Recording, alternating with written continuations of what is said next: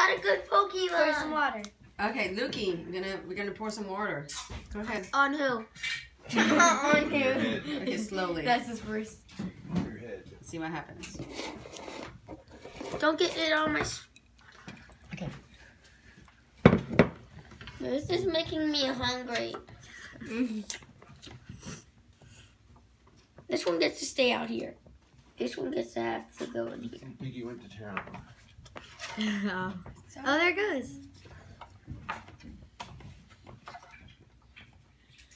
I'm This always amazed how this works.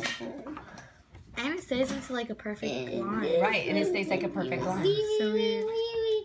All the way home. Wow, look look at the rainbow. Wow. It's going straight to the snowman's belly. Well, I didn't know Lava Head had 100 and I wonder how Ten it tastes. You can taste it if you like to. Yay! It actually tasted pretty good. Oh, really, guys? Not sure. It's like sugared down candy. That looks really. I don't know how it does that. Like a straight line. It's So, so pretty though. The um the M and M's, you know those things uh, around the core. If you suck on them and take it out again, it turns white because of the coloring around it.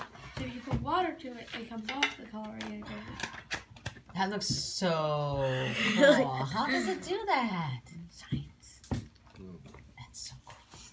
What do you guys think? I like it. Say thanks, elves. Think so.